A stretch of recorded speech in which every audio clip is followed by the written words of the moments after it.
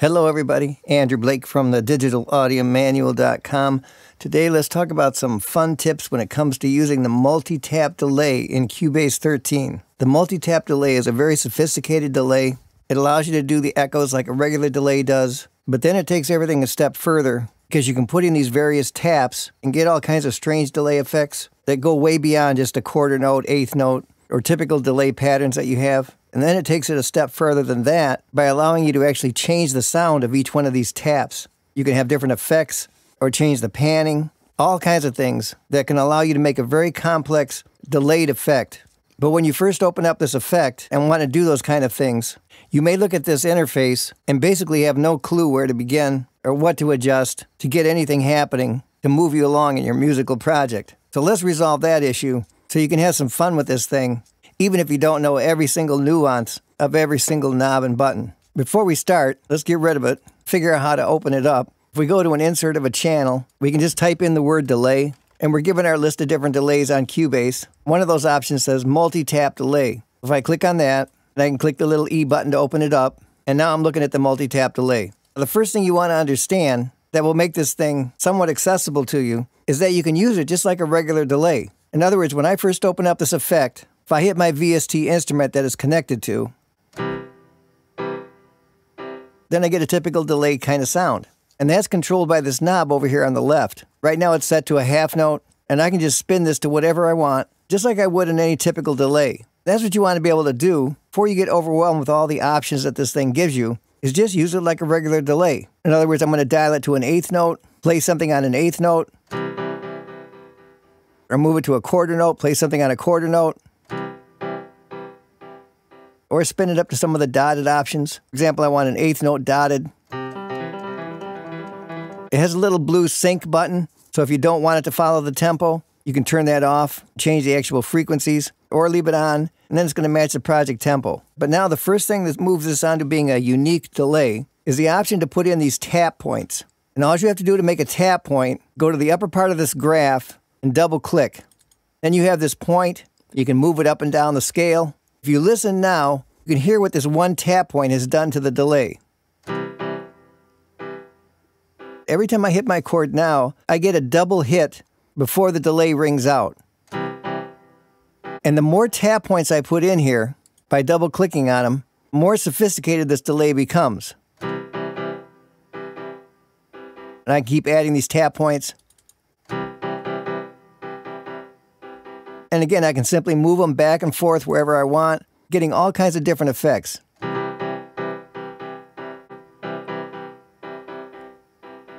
This basic grid area is one bar in length. If you look at the bottom, you have a display that breaks that up into whatever increments you want to use. For example, right now it's set to a 16th note. What that means is now there's 16 lines going down my grid that I can kind of snap these tap points to. And if I change this, for example, to an eighth note, then I have eight lines on this grid And my tap points can snap to and give me a whole different result. You don't have to put these tap points on the grid. You can simply move them and drag them a little bit. Immediately, you'll get some really unique results. Things that have no relation to a tempo anymore. Just like you double click to put them in, if you go to the little numbers at the top and double click again, you can then remove these tap points and bring your delay right back to a simple delay.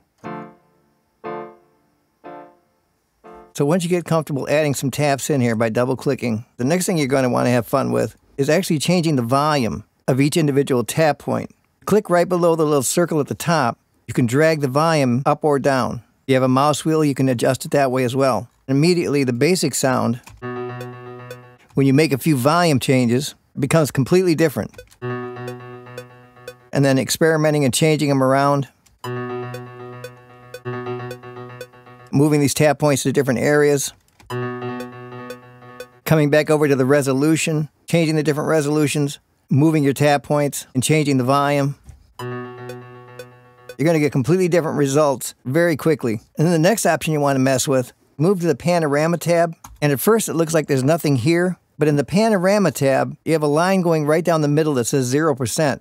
If you click on that line and drag either up or down on one of your tap points, this allows you to change the stereo field.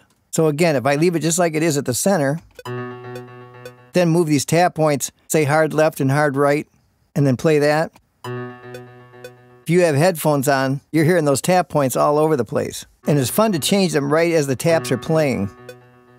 So you can immediately hear the different results. And then if you're lost for ideas, you actually have a randomize button. Every time you click this, you get a totally different result. It allows you to quickly hear all kinds of different options without giving any thought to it at all. If you create all kinds of taps and you want to just wipe it clean, you have a reset button on the right, hit that, and all your taps are automatically removed. And then the last thing I want to show you today is put in a few of these tap points you also have this option to put effects on each one of these points. If we move down to the bottom of the effect, each one of these sections open up if you click on them. There's one down here that says Tap Effects, and then there's an option that says Add a Module. If we click on that, we get this huge selection of different effects a chorus, filter effects, even another delay. Let's start by taking this reverb effect, and when you click on an effect, it automatically applies it to every one of your tap points. But the fun stuff Clicking towards the bottom removes that effect, and clicking towards the top turns it back on. Besides turning them on and off, you can then come down into the effect parameters, specifically change things there. For example, if I want to bring the mix level down, or I click on this tap, I want to move the mix level all the way up, change the size of that reverb. Let's add another effect. I click on Add Module. I'm going to hit the filter option. Again, it puts the filter on all three of these taps. Tap 3, I turn it off, and just leave the filter on the middle one. And then I get this.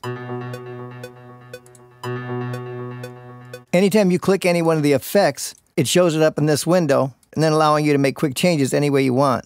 And then here's a bonus point. If you go up into the upper area, it says character, and there's actually a drop down arrow here. You can click this on the right, which opens up a whole nother section. You have all kinds of various knobs and options. One easy one you can work with right away is there's a knob here that says saturation. And what this allows you to do is apply saturation just to the echo points or the multi taps. Your initial sound won't change at all, but the echoes themselves will become kind of fragmented or a little bit more distorted. And the effect compounds itself with every hit. So if I play this echo here,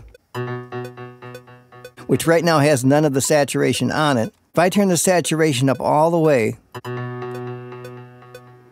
really adds an extra dimension to the tap echoes, become more distorted, more in the distance. And again, the effect kind of compounds every time the tap hits. So if you have a long echo, for example, you can really hear this effect change over time to give you an extra dimension to your delay sounds. So all in all, the multi-tap delay can really give you some extra character to any delay you want to add into your music. And even with just the simple moves we did today, double clicking to add a tap point, double clicking to remove it, moving it along the scale anywhere we want, and then changing to the panorama and changing the stereo field on each tap, moving to the tap parameters where we learn we can add effects if we want.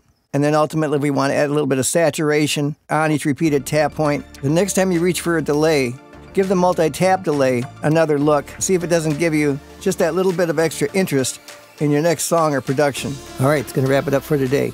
As always, if you haven't already, click the link in the description of this video to learn how you can get access to the all-new Digital Audio Manual Preferred. It's the clear, step-by-step solution showing you not only the tips, but all the secret and typically never talked about features that'll take you to a higher level of using your software. If you've been searching for an all in one solution to take you from start to finish and learning Cubase and Wavelab and other music software, this is exactly what you've been looking for. So click on the link in the description and come and be part of the clear path to a better learning experience. So today we learned about some fun tips we can use with a multi-tap delay in Cubase. We saw how we can use this delay as a simple regular delay, but then we learned how to add tap points, change the volume on those tap points, go to the panorama tab, change the stereo field, we learned how we could add effects to our tap points, and then we finished off talking about the saturation knob and the effect that can have on the echo of the tap points. As we continue to move through and become better all the time at our creative options and learning all the different tools that are available to us, pick this up next time.